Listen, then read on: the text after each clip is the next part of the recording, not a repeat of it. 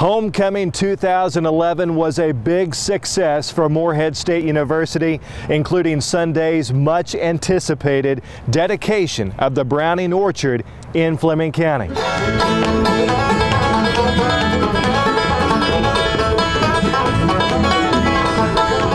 Now, university officials were expecting a crowd between one and 200 people, but were absolutely blown away as more than 600 turned out for the festivities, which offers further proof that the Browning Orchard will play a major role in the future of MSU's ever expanding agricultural sciences department.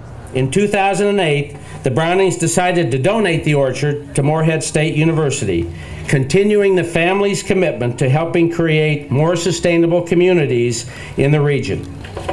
The Browning family's legacy will forever be remembered on this beautiful property. Thank you, Bill.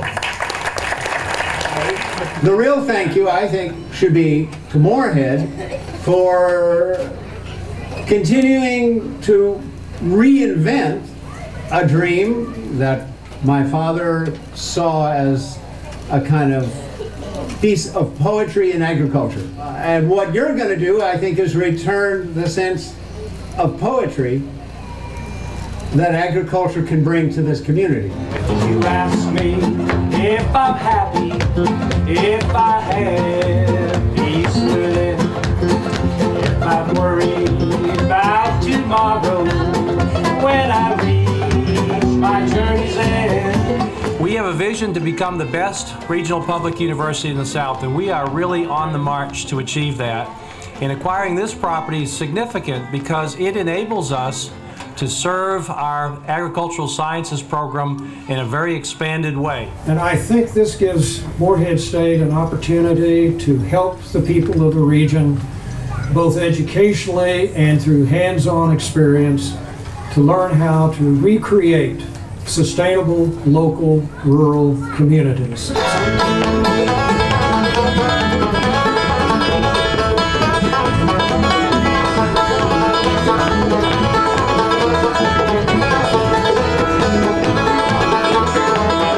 What we envision here is that this will add to the breadth of what we're able to do in our agricultural sciences program with horticulture, with uh, forage land and crop production, with appropriate uh, processes for the 21st century to make the land sustainable. We have a very, very strong program in agricultural sciences, lots of students involved. So our commitment is to make this a, a place where there'll be lots of learning and make this once again a viable and sustainable farm effort.